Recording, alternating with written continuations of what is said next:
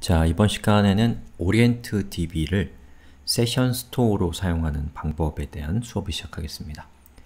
자, OrientDB를 session store로 사용하기 위해서는 여러분들이 일단은 실습 환경이 좀 필요하겠죠. 자, 실습 환경은 app underbar session underbar file 저, 저것을 어, 저는 카피해가지고 이 뒤에다가 orientdb라고 적겠습니다. o-r-i-e-n-t-d-b 그리고 여기에서 file store 부분 파일을 session store로 사용하는 부분을 이제 OrientDB로 저는 변경할 건데요. 자, 그걸 하기 위해서는 어떤 모듈을 사용해야 되는지를 우리가 알아야 돼요. 자, 그래서 뭐 검색 같은 것들을 통해서 여러분들이 잘 찾아보시면 몇 가지가 있는데 저는 그 중에서 connect-oriento라고 하는 걸 쓰겠습니다. 주소는 이렇습니다.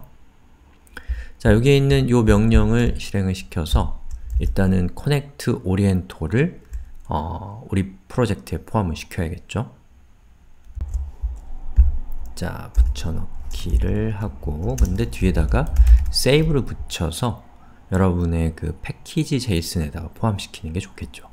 요거는 이제 프로젝트에서는 반드시 필요한 패키지니까 자, 그렇게 실행을 시켰으면 예. 자, 여기 있는 이 예제 코드를 카피해서 여기 있는 file store 부분을 대체하겠습니다. file store Orient 그리고 이렇게 세션을 받아야죠.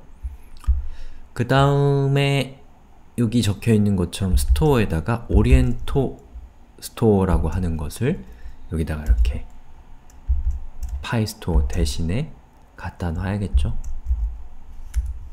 자 그리고 여기에 configuration이 들어가는데 여기 적혀 있는 것은 config의 세션이거든요. 이 config의 세션으로 이렇게 이런 정보가 들어간다고 되어 있으니까 어, 저는 요거를 여기에다가 직접 넣겠습니다. 별도로 빼려니까 또 이름이 지저분해져서 자, 이렇게 한 다음에 서버 그리고 여기 있는 코드를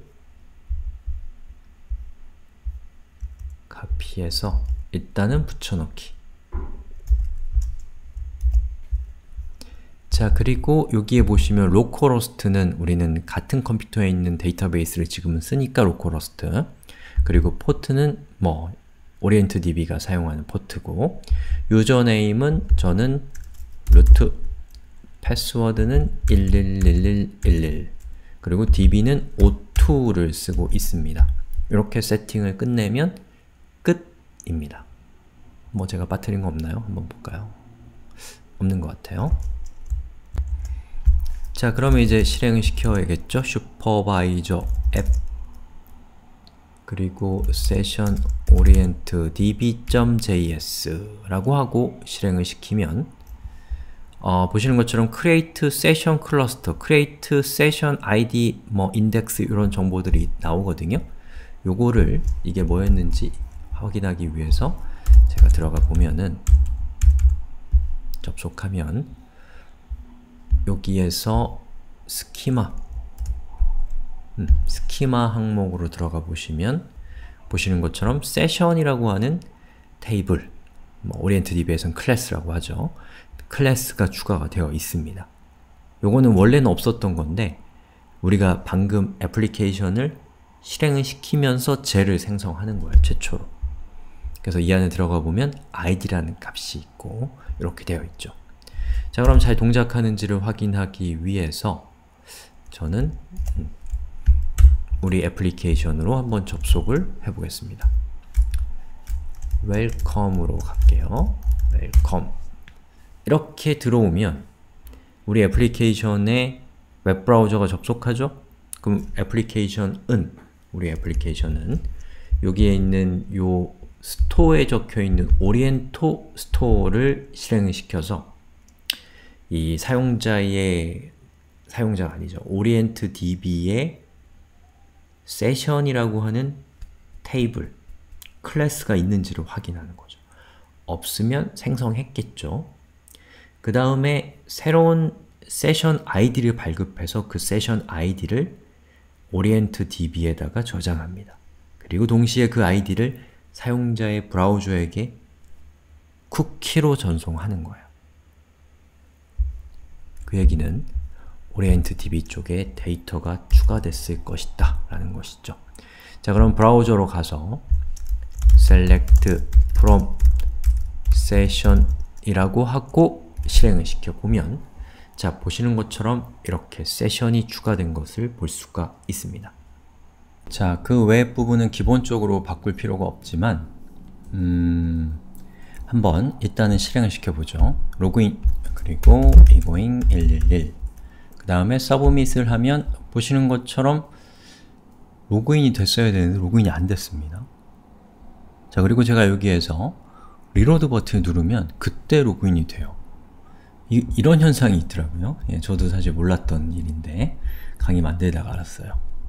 자, 그래서 왜 그런 일이 있는지를 제가 좀 분석을 해봤는데 일단 여기 로그인하는 부분에서 자, 여기죠. 로그인 되면 redirection을 통해서 welcome 페이지로 보내버립니다.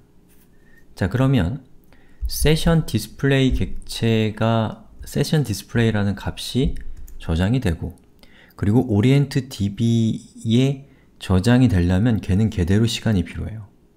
근데 저장이 되는 그 시간 동안 redirection이 순식간에 이루어지면서 웹페이지가 딱 전환됐을 때 예, 아직 세션 데이터가 데이터베이스에 저장되기 전에 이 페이지가 표시가 돼버리면 어, 아까 보셨던 것 같은 옛날 화면이 보이는 거죠. 로, 로그아웃 한번 해볼까요?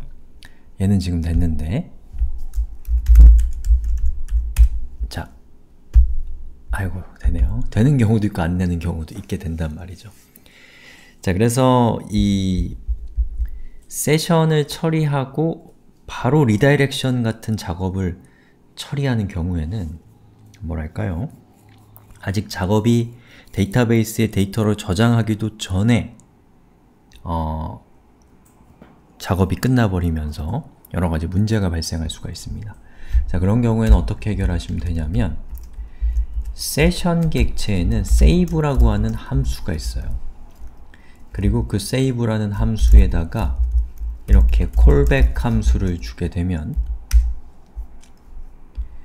어, 세션이 스토어에 저장이 된 후에 이 세션의 인자로 전달된 저 함수가 호출이 됩니다. 그럼 그때는 안전하게 데이터가 스토어에 저장이 되었다는 것을 확신할 수 있는 순간에 우리가 사용자를 리다이렉션 시킬 수 있는 것이죠. 자, 그렇게 해서 처리를 해보면 예, 여러 차례 시도를 했을 때 한 번도 이런 문제가 발생하지 않는 것을 아실 수가 있을 겁니다. 그래서 리다이렉션을 하지 않는 경우에 뭐 굳이 세이브 이벤트를 처리할 필요는 별로 없어요. 하지만 어, 세션이 데, 스토어에 저장되자마자 실행된 어떤 일이 있다면 리다이렉션 같은 그러면 이 세이브라는 이벤트를 이용하셔서 좀 더 안전한 타이밍에 후속 작업을 처리하게 할 수가 있는 것이죠. 자, 이건 이제 로그아웃하는 부분에서도 마찬가지 일이 일어날 수가 있기 때문에 auth 로그아웃 부분에서 역시 마찬가지로 이 save 라고 하는 저걸 통해서 로그아웃이 완전히 끝나서 데이터베이스에까지 적용되었다라는 것을 확인한 순간에 redirect가 일어날 수 있도록 코드를 개편했습니다. 자, 그리고 egoing 1111 그 다음에 로그아웃을 하면 보시는 것처럼 웰컴이라고 하는 메시지가 잘 출력되고 있습니다.